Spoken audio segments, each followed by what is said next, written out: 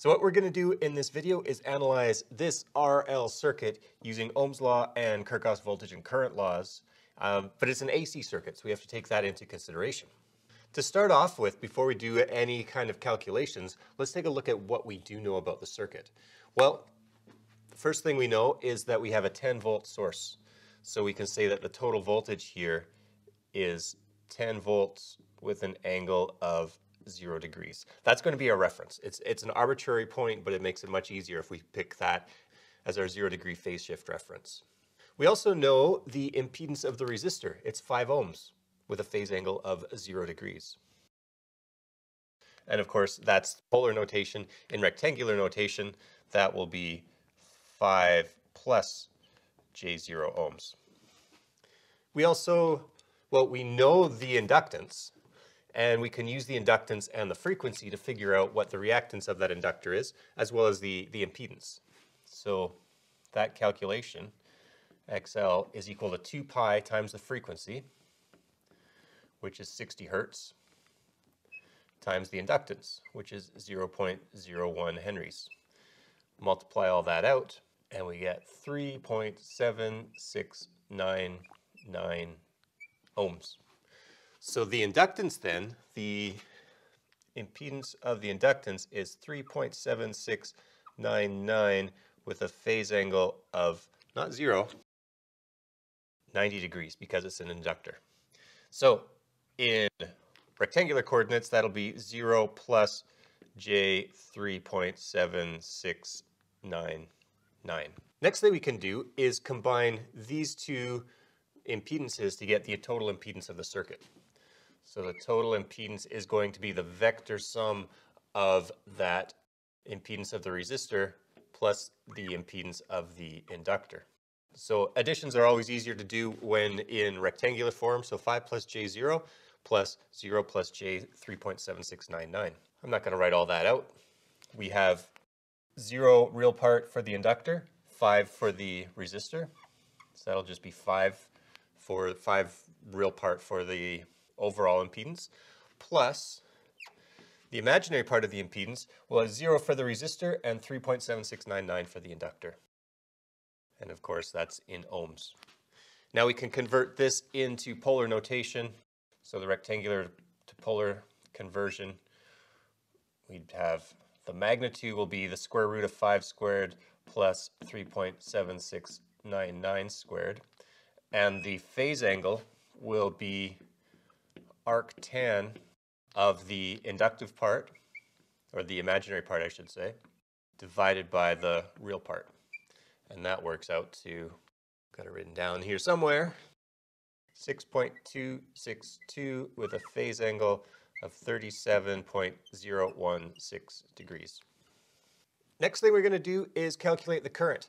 This is a series circuit, so the current is going to be the same for all devices, and that current will be equal to the total voltage divided by the total impedance. And we have those two numbers. We have those two numbers in polar notation. So we're going to use that because it's going to be much easier to divide in polar notation. 10 volts with a phase angle of 0 divided by 6.262 ohms with a phase angle of 37.016 degrees. Well, to do this division, we divide the magnitude parts, and that gives us a value of 1.597 amps.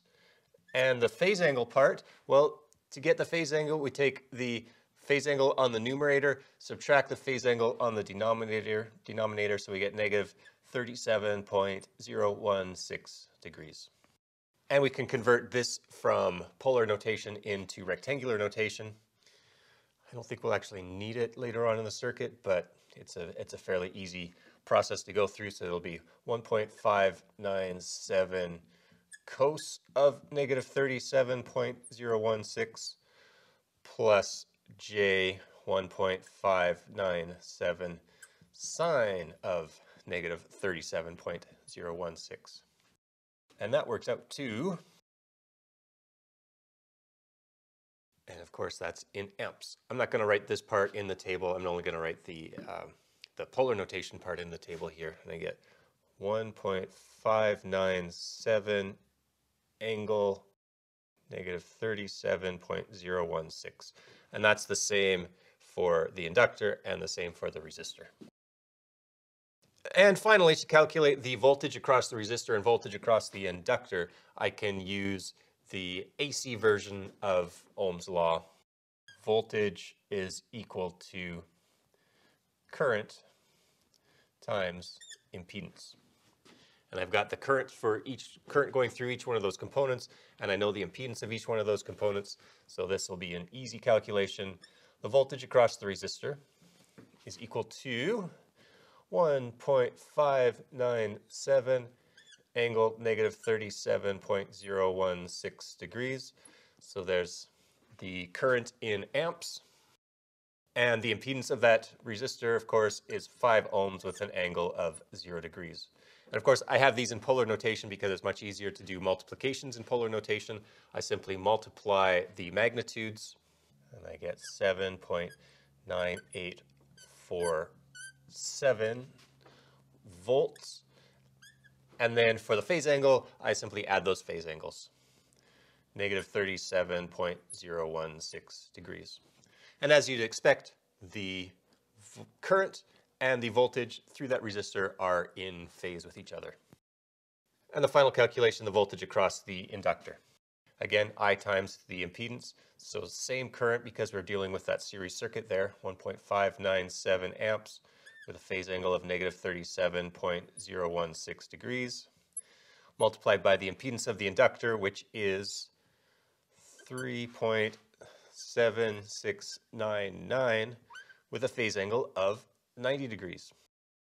So multiply out the magnitudes, 6.0203 volts with a phase angle of negative 37.016 plus 90 degrees, which gives me 52.984 degrees.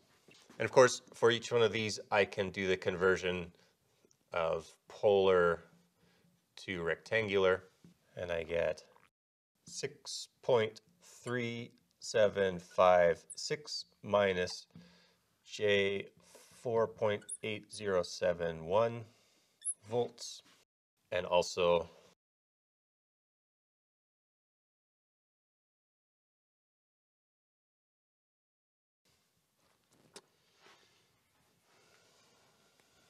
This example comes straight from an online textbook, so be sure to check out the link in the description because there you can find more examples like this, as well as more videos and practice problems and all sorts of things to help you learn your electrical and electronic circuits.